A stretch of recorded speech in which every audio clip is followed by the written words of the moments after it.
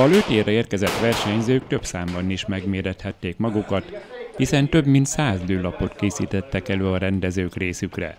Nagyjából egy olyan 100-150 lapot lukasztunk ma, kettő szakákban, a precíziós puska versenyszámban 300 méterig, és a gyorspont versenyszámban, a rapid gyorspontban pedig 10 szakág méri összetudását. Erre a lövészversenyre azért is érdemes volt távoli városokból is ellátogatni Jászberénybe, mert akár 12 kategóriában is kipróbálhatták magukat a versenyzők. A fesztivál szó ebben az esetben azt jelenti, hogy azok a lövők, akik elkötelezett szakág versenyzők, most másik szakágat is megpróbálnak, illetve lehetőséget biztosítunk arra, hogy a mi eszközeinkkel, sportszereinket használva kipróbálják azokat. Operatőrünk arra is engedélyt kapott, hogy egy perc erejéig szemből filmezze a versenyzőket. A lövészetvezető ekkor csak imitációt engedélyezett, természetesen üres tárakkal. Figyelem! Ez Start!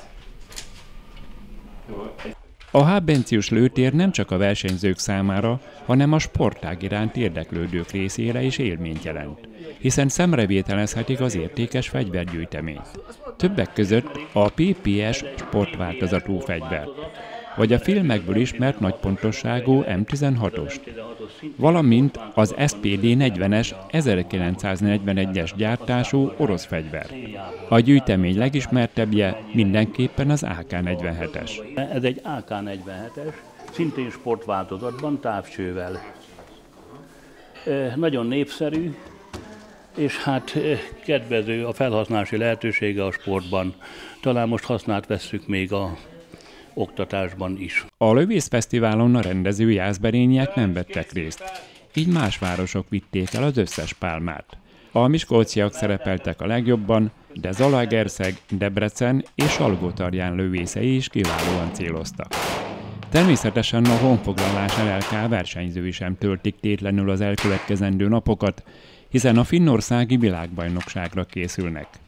A szabadtéri lőtéren a VB-n várható célokat állították fel, hogy minél kevesebb meglepetésben legyen részük a nyár közepén rendezendő világversenyen.